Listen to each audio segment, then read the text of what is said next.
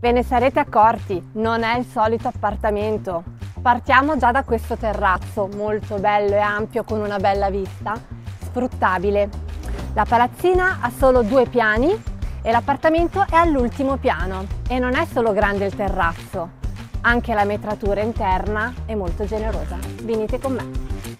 Iniziamo a scoprire la zona giorno. Come potete vedere la luce non manca essendo all'ultimo piano Qui abbiamo la zona relax, il soggiorno è doppio, dove in un'altra area abbiamo il tavolo grande per i pranzi e per le cene e lo spazio dove c'è un suggestivo camino per le sere invernali. La cucina è separata dalla zona giorno, quindi rende la cucina abitabile. L'immobile è pensato per le famiglie. Abbiamo quattro locali e mezzo più una zona studio e la zona notte è divisa in due aree separate. Qui abbiamo le due camere, la prima molto luminosa si affaccia sul terrazzo, l'appartamento in totale sono circa 170 metri quadri, qui abbiamo la seconda camera e hanno il bagno personale con vasca, già con il lavabo doppio.